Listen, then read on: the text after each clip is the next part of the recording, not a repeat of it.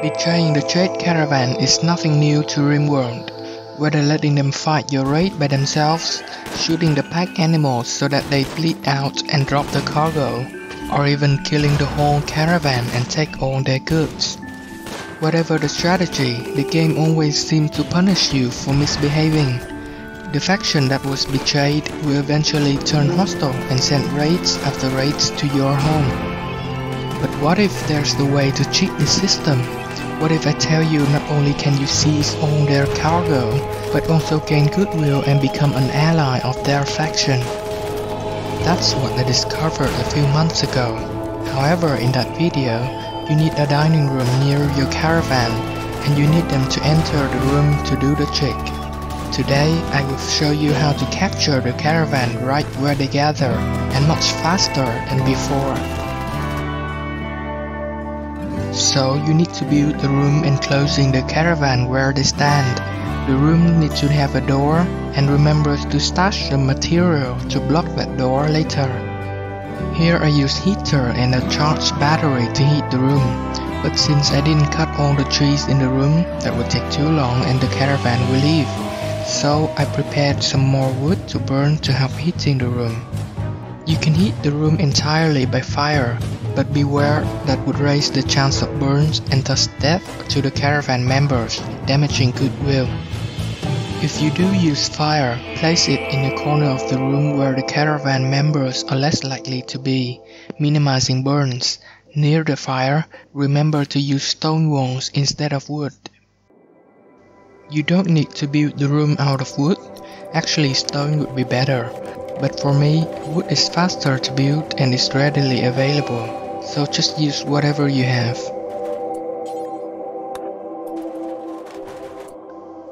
After finishing the room, install the battery to start the heaters and set the fire to the wood.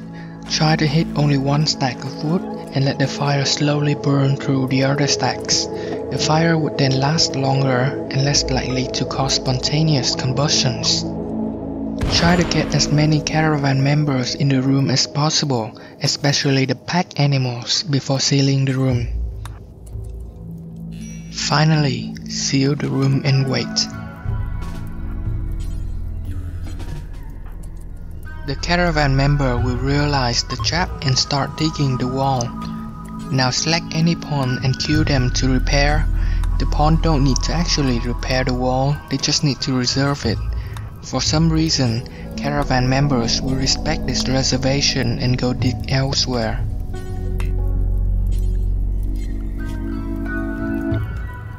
After this, you just need to wait for the heat shock to set in.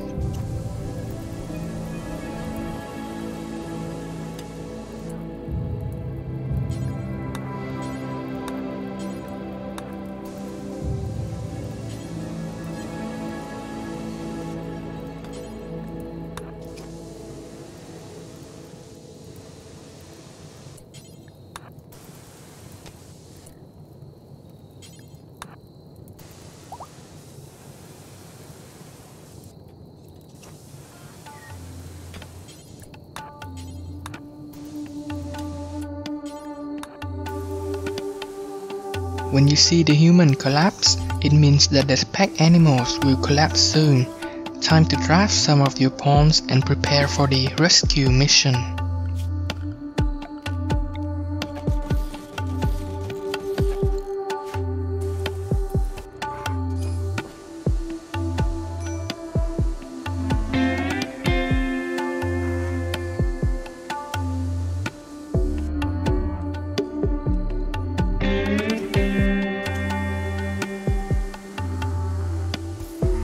When the animal is finally collapsed, it's time to rescue the human out for recovery. This is why the room needs a door. It helps keep the item dropped from the caravan safe from deterioration. The door also maintains the temperature inside the room so that the human don't wake up before being rescued.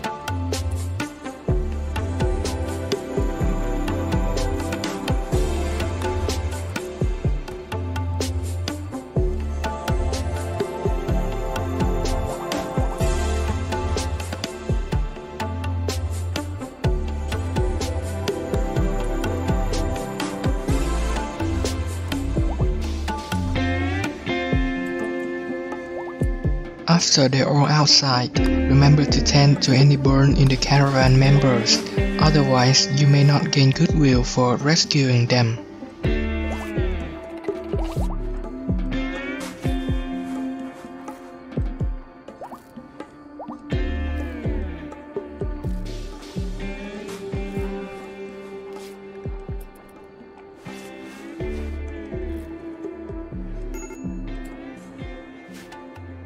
When you are done, deconstruct the beds so that the caravan members immediately return home.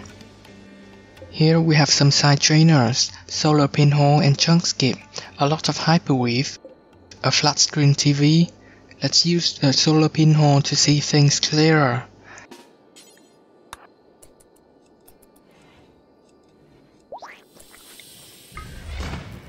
So we have a telescope, some gold glitterworld medicine, a mega screen TV, a psychic insanity lance, a psychic soothe pulser, and lots of components plus steel, silver, and weapons. Let's see the goodwill we would gain from all of this.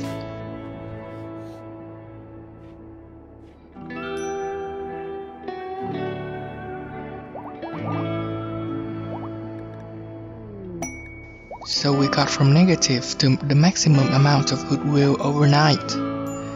Obviously this strategy is very cheesy, so refrain yourself from using it too often. So that's all for this video, I hope you liked it.